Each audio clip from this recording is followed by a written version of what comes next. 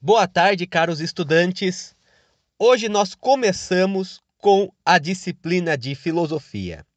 E a primeira aula que nós teremos sobre filosofia diz respeito a explicar um pouco sobre não apenas a filosofia, mas como os outros três tipos de pensamento. Algumas correntes filosóficas consideram que existem quatro tipos de pensamento que são formas de como o ser humano ele interage com a realidade, né? ele interage com o mundo ao seu redor. Então são quatro formas de pensamento que mediam a forma como o ser humano lida com a realidade em seu entorno.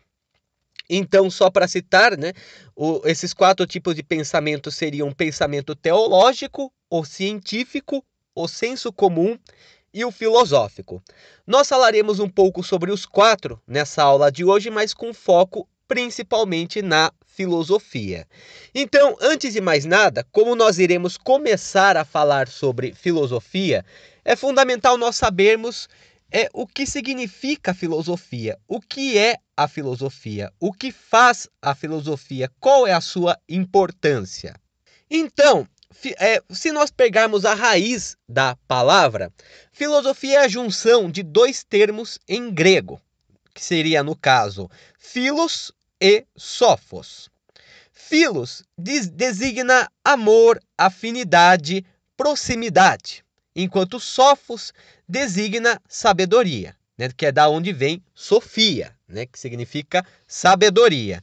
Então, filosofia, pegando pela raiz grega da palavra, significa afinidade ou amizade com a sabedoria. Os filósofos, então, eles são pessoas, eles são indivíduos que têm um compromisso com a sabedoria. Agora, o que seria a sabedoria? Isso é outra questão, é uma questão bem mais longa. Mas de qualquer forma, a filosofia, ela tem como princípio compreender o mundo, compreender a realidade em suas diferentes escalas a partir da razão.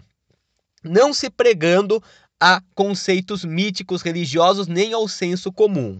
Com relação à ciência, como nós veremos, a filosofia é a mãe de todas as ciências. Todas as ciências que existem atualmente se originaram da filosofia. No entanto, a filosofia não é equivalente à ciência. Na verdade, podemos até dizer que a filosofia nem mesmo é uma ciência. E nós iremos explicar por que isso pode ser afirmado. Então, é, acredita-se que essa, esse termo, né, filosofia, ele teria surgido na Grécia, mais ou menos por volta do século V, VI antes de Cristo, para designar aqueles pensadores que buscavam explicar o mundo com base em princípios racionais, não recorrendo a mitologias, não recorrendo a preceitos religiosos. Então, a filosofia, a primeira coisa que nós devemos saber sobre ela é que ela contempla diversas áreas do conhecimento. É, são muitas áreas, mas nós podemos citar algumas das principais que serão mais recorrentes a partir de agora. Então, a primeira seria a lógica Lógica vem de logos, né? Logos significa, no caso, discurso, né? Significa um discurso racional. Logos originou inclusive o sufixo logia, que é muito presente em várias ciências que nós conhecemos: biologia, geologia, fisiologia, zoologia, entre tantos outros. Então, logos, né, a lógica, no caso, ela corresponde a operações intelectuais que determinam a verdade. E elas são várias operações intelectuais. Né? Então, nós temos, por exemplo, a dedução, nós temos a indução, nós temos a tese, a hipótese. Cada uma busca explicar uma correlação, uma correlação lógica entre duas assertivas com base em princípios racionais. Né? Então, por exemplo, a dedução ela parte do geral para se chegar ao particular. A indução parte do particular para se chegar ao geral. A hipótese é uma possível tese, né? Tese seria um argumento, né? Uma, vamos dizer assim, até mesmo hoje em dia é usado no sentido de uma prova, podemos dizer dessa forma, né? de um argumento. Já hipótese seria uma teoria, né? Um, um meio para se chegar à tese, um meio para se chegar ao argumento final.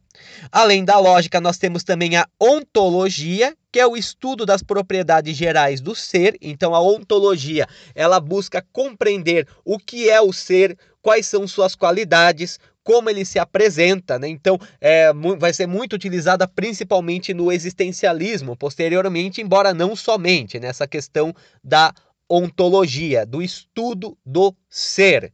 Nós teremos também a gnosiologia, né, de gnose, né, que significa conhecimento, é o estudo do conhecimento, é uma área da filosofia que tem como foco compreender o conhecimento, as origens do conhecimento, de onde ele vem, quais são os meios pelo qual o sujeito obtém conhecimento, ele já tem ideias inatas, né? ele já nasce com algumas ideias, ele adquire pela experiência, ele, a partir da sua mente, consegue abstrair a experiência. Então, a gnosiologia, ela diz respeito a compreender o conhecimento de uma forma geral. Nós temos também a axiologia, que vai ser muito importante a partir da chamada filosofia clássica, com Sócrates, Platão e Aristóteles e vai predominar bastante a filosofia em vários aspectos, pois a axiologia diz respeito ao estudo dos valores humanos. Então, é a área da filosofia que se dedica à ética, à política, à religião, a estética, a moral. Né? Inclusive, é até é importante ressaltar nesse sentido né, que na filosofia, embora cada filósofo defina ética e moral de uma forma diferente, a ética e a moral elas são coisas diferentes. Né? A grosso modo, sem entrar em grandes discussões, é, os dois termos eles têm na origem da palavra é, o sentido de costume, né? o sentido de hábito. Né? Moral, no caso, viria do latim, morale, né? enquanto ética viria de ethos, que é do grego.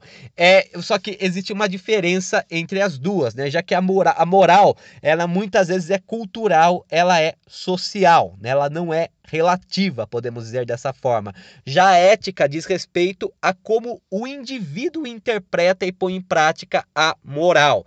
Né? Então, enquanto a moral ela serve para todos, ela é geral, a ética ela é mais centrada na subjetividade. É quando o indivíduo ele interpreta a moral para realizar uma determinada ação.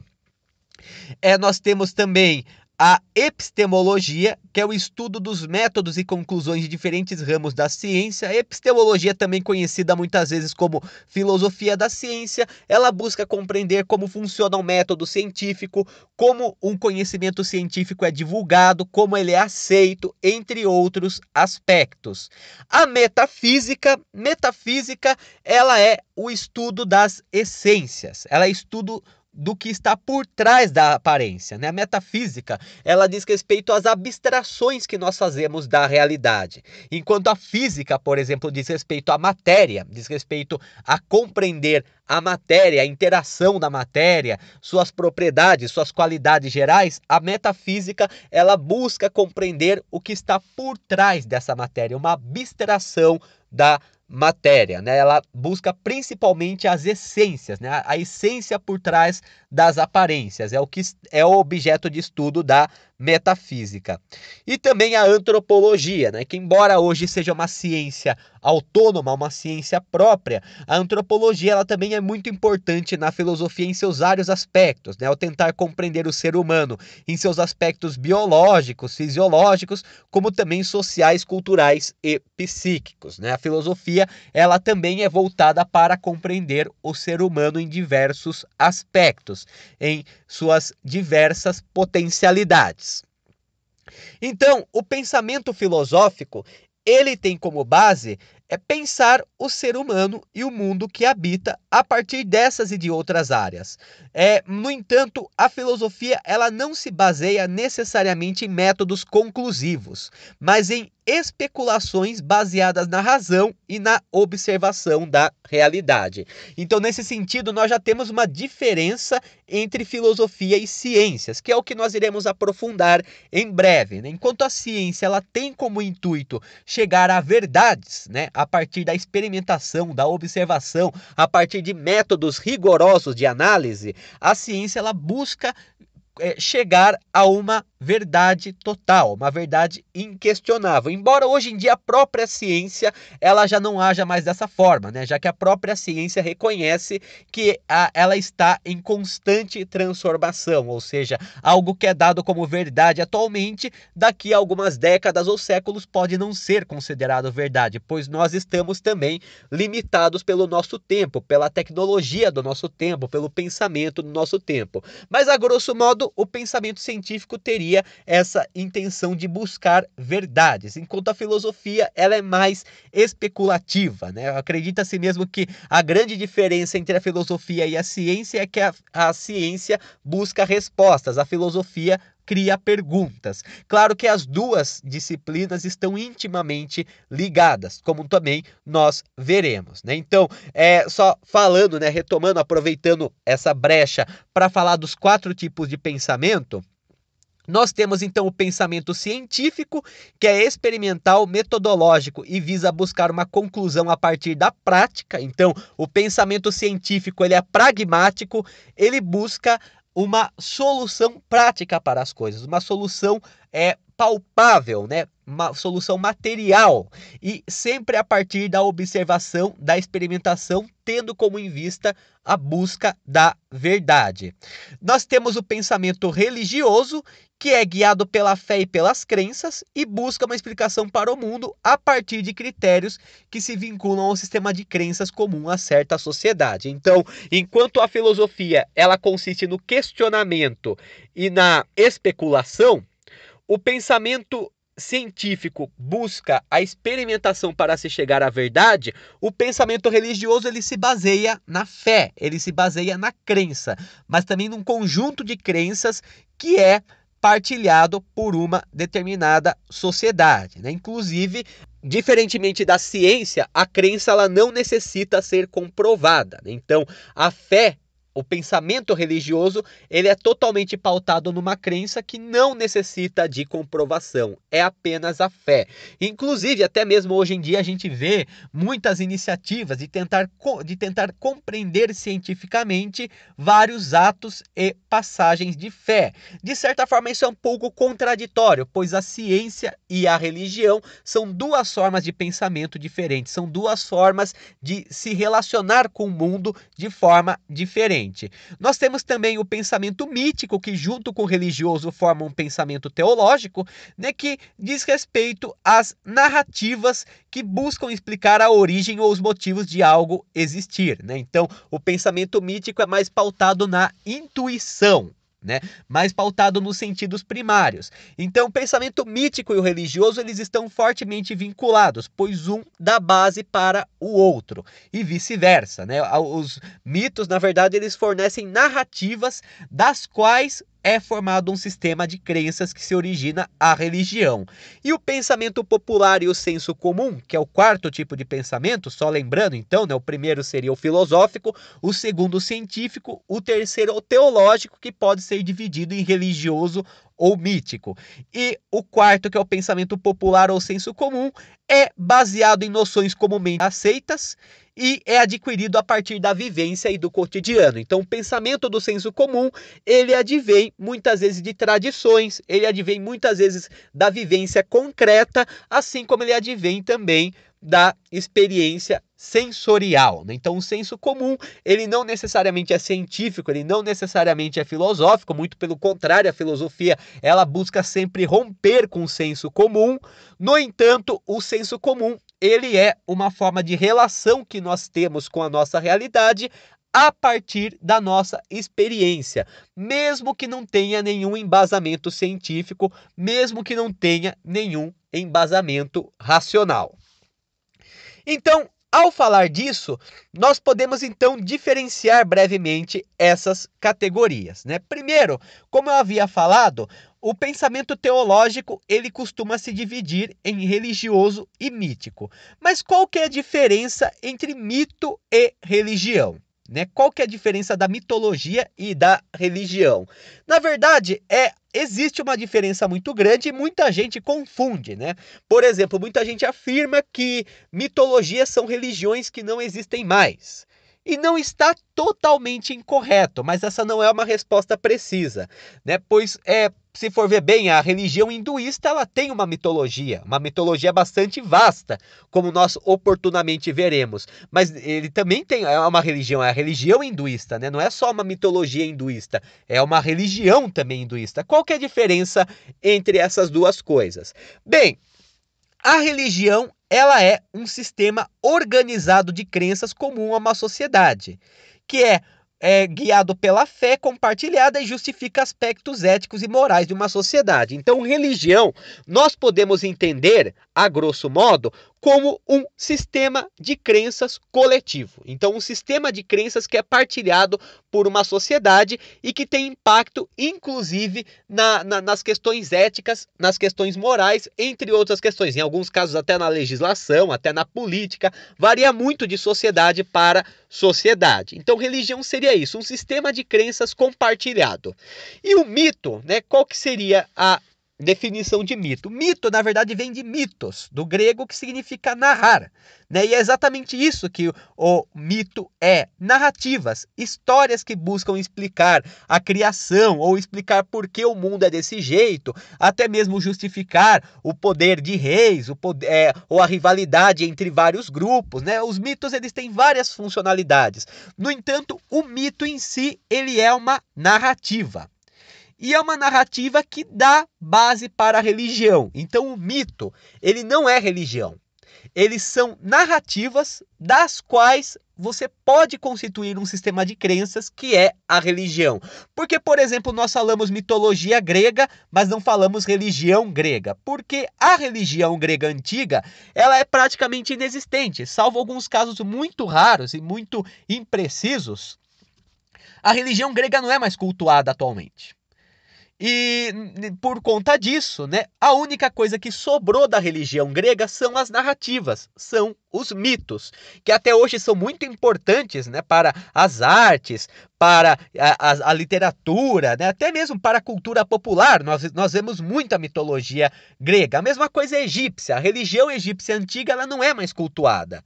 O sistema de crenças do Egito antigo não existe mais mas as narrativas ficaram, né? Então essa que seria a mitologia egípcia. Da mesma forma nós podemos chamar a religião indiana tanto de mitologia hindu como religião hinduísta, pois nós temos as narrativas, a mitologia hindu, como também nós temos uma série de sistemas de crenças que são baseados nessas narrativas. A mesma coisa com o shintoísmo no Japão, a religião chinesa, né? É, são, ela, é, ela consiste de narrativas, consiste de mitos, mas ao mesmo tempo ela ainda possui um sistema de crenças compartilhado. Né? Então, essa que seria a diferença principal entre religião e mito. Mito é, são histórias, são narrativas.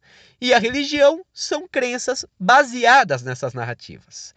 É, as religiões elas possuem seus mitos, que são explicações intuitivas para o universo, mas não se limitam a eles, pois tem, necessitam de uma organização, regras aceitas socialmente e muitas vezes até mesmo uma liderança é, religiosa, né, ou que serve de guia para que as pessoas cheguem à verdade religiosa. Né? Então, o mito em si ele é apenas história, ele é apenas a narrativa. A religião ela é a interpretação desses mitos e a aplicação dessa interpretação em sociedade, né, para a constituição de uma sociedade. Nós temos diversos mitos e religiões pelo mundo inteiro. Né? Então, em diferentes regiões do continente, nós temos de muito, mitos muito diferentes, embora alguns sejam bastante comuns. Né? Então, por exemplo, mitos de sereias são presentes desde a Grécia Antiga até mesmo na África, na América do Sul, na, entre os Inuites, na América do Norte. Né? Nós temos histórias de sereia. Dragões também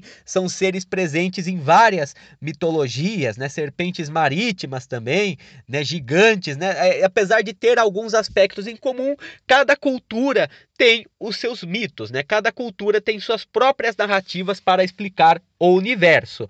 E muitas vezes essas narrativas se desenvolvem em religiões, em sistemas organizados de crença, né? Até inclusive muito se fala, né, sobre a origem da religião, quando que ela teria surgido, é muito difícil prever, mas muito se crê que desde a pré-história já existia cultos religiosos. Né? Desde o final do Paleolítico, podemos dizer assim, nós já temos a presença de certos cultos religiosos, né? o que pode envolver também narrativas míticas orais que se perderam com a extinção dessas sociedades. Até mesmo existe uma teoria né, que fala que havia uma religião antiga que deu origem a todas as outras, assim como também um idioma antigo que originou todos os outros, mas não é comprovado cientificamente. E qual a relação então da filosofia com o mito, com a mitologia, né, que é o estudo dos mitos. A filosofia, ela surgiu justamente como uma forma de confrontar ou mesmo complementar o pensamento mítico. Né? É, na, no caso ocidental, a filosofia ela teria surgido nas cidades gregas por volta do século VII a.C., com Tales de Mileto. No entanto, como nós veremos, antes disso, no Oriente, na Mesopotâmia, né, na China, na Pérsia, nós já tínhamos é, formas de especulações racionais da realidade que nós poderíamos considerar como pensamento filosófico. Mas isso é uma história que nós entraremos depois.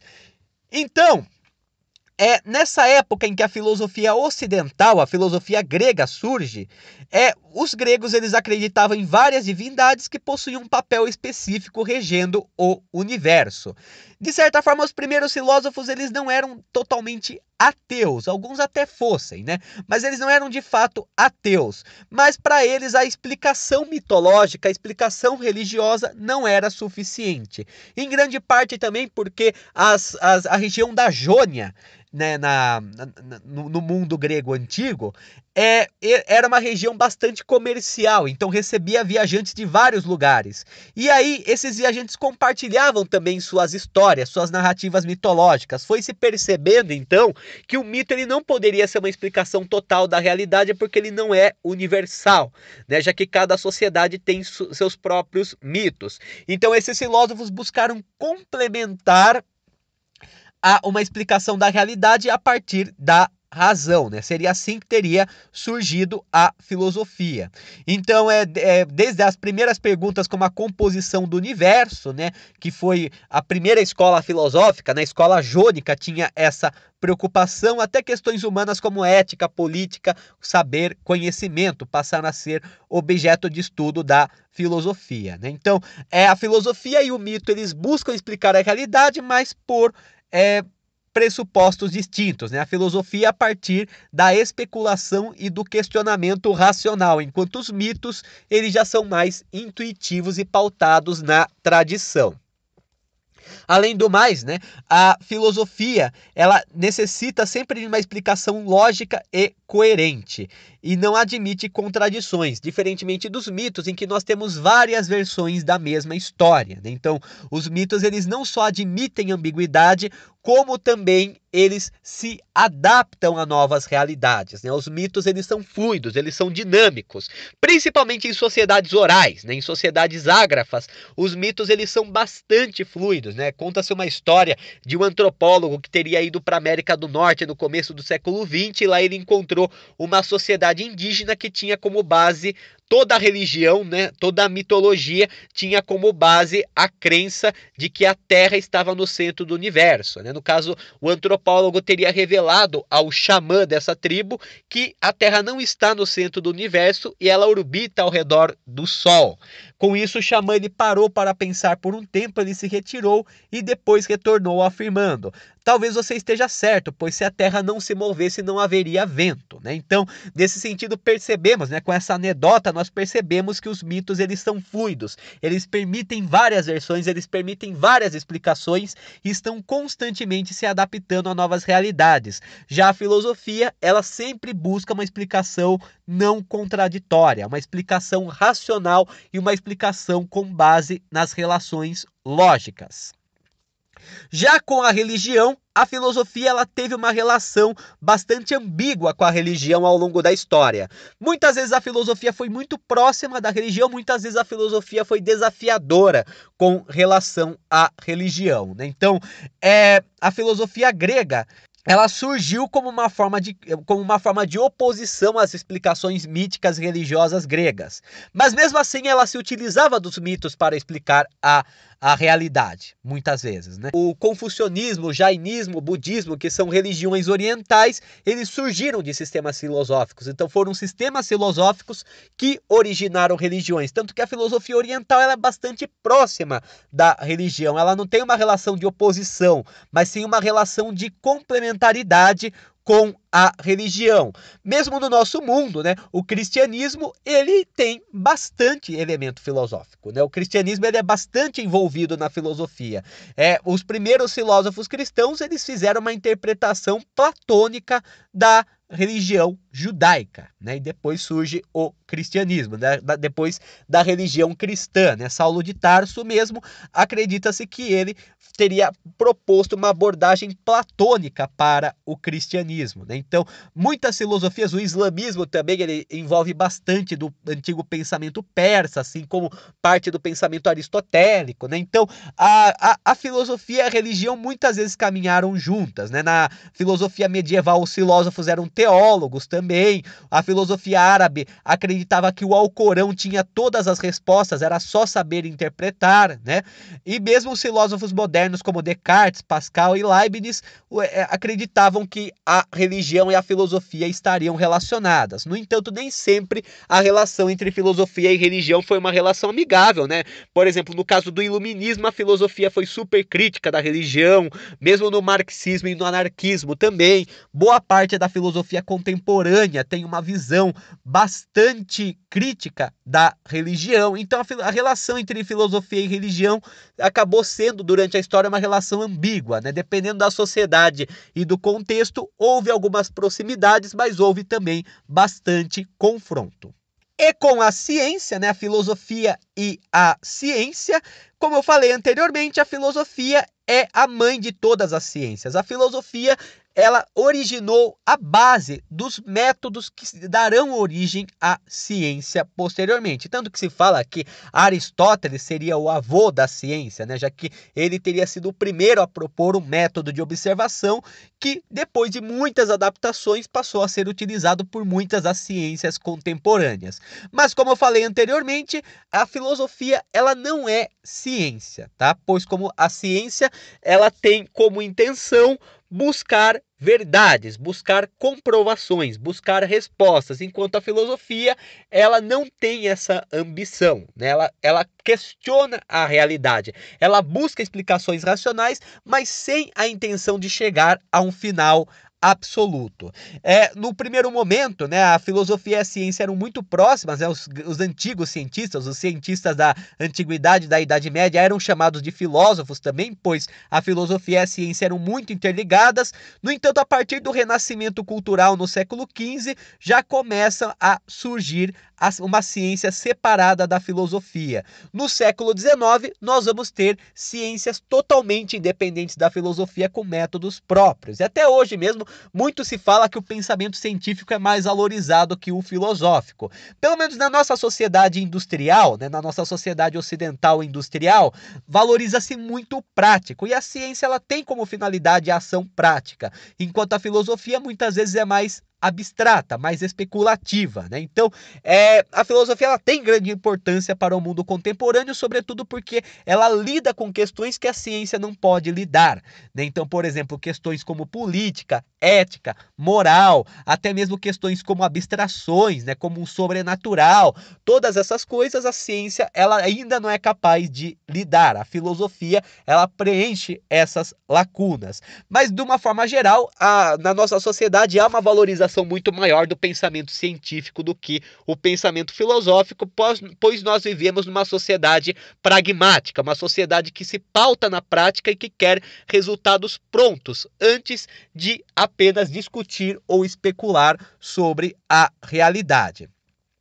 A filosofia ela também oferece especulações e indagações que podem ser desenvolvidas pelas ciências. E da mesma forma também a filosofia ela, ela tem a ciência como objeto de estudo, né? Na epistemologia, na gnosiologia, né? Nós temos também a filosofia compreendendo a ciência como um objeto filosófico.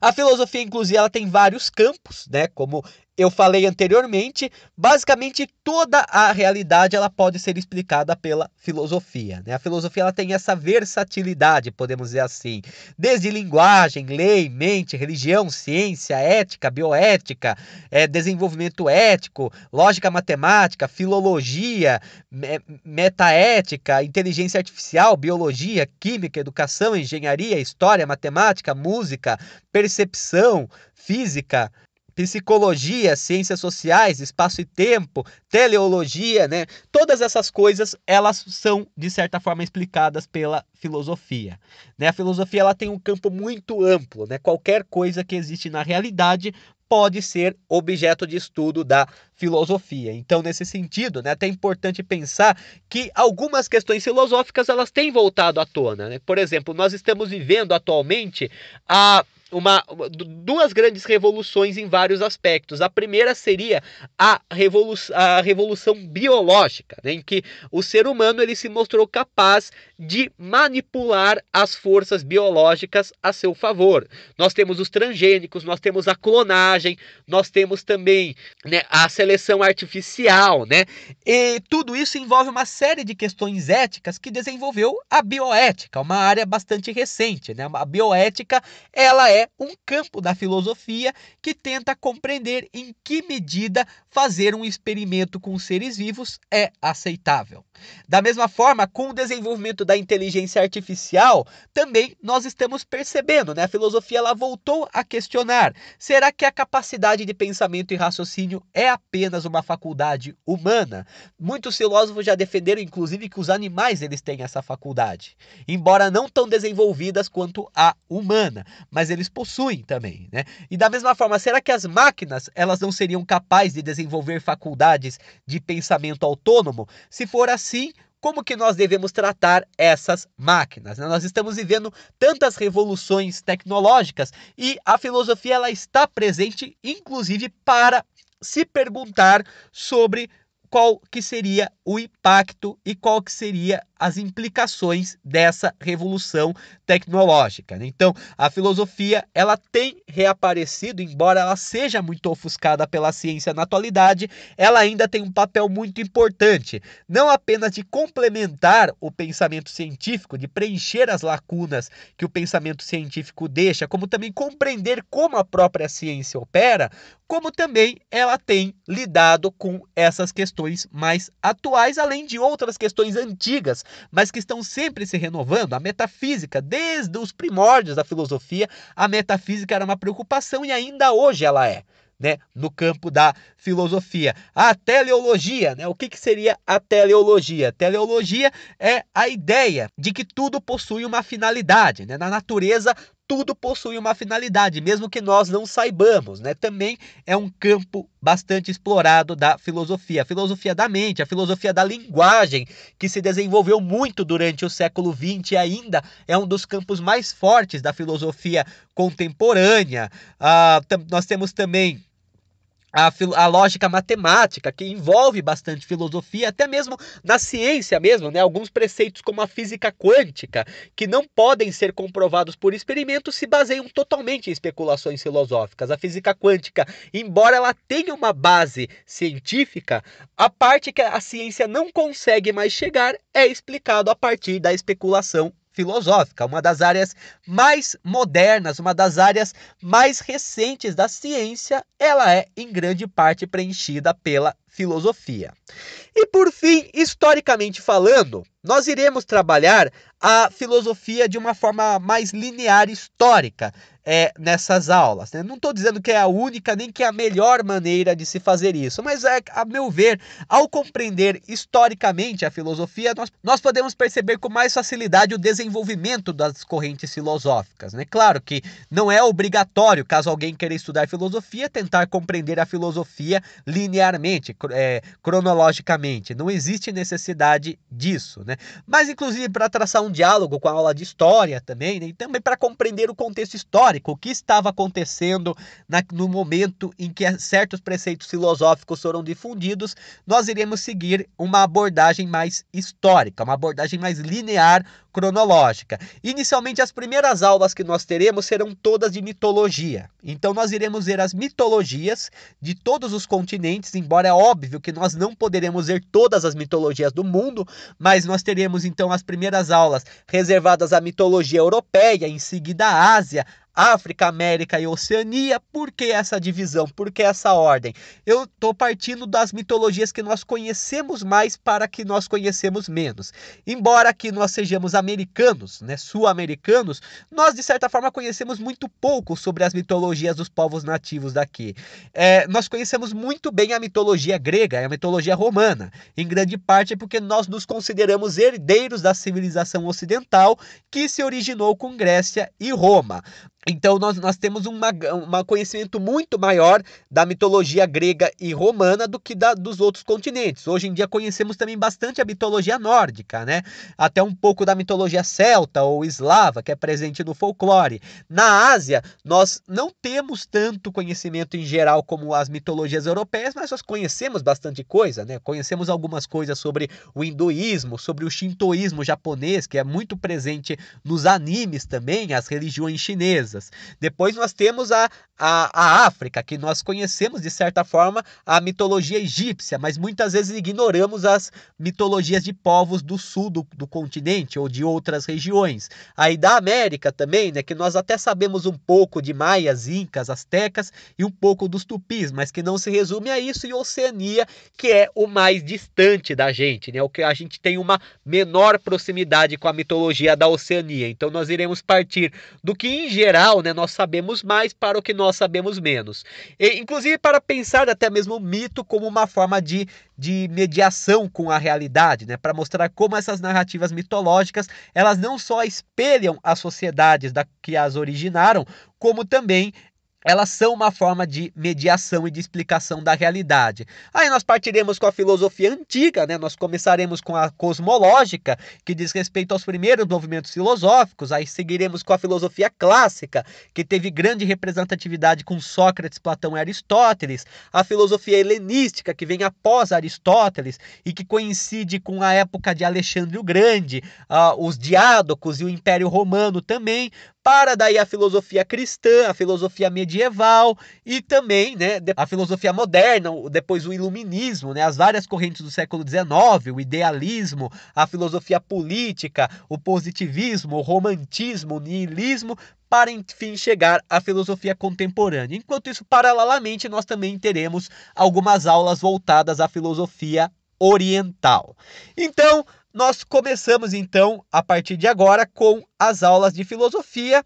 Nas aulas seguintes, nós iremos tratar então da mitologia, primeiramente mitologia europeia, e depois de desdobrar todas, todos os continentes, nós aí começamos com a filosofia propriamente dita. Uma boa tarde a todos e tudo de bom!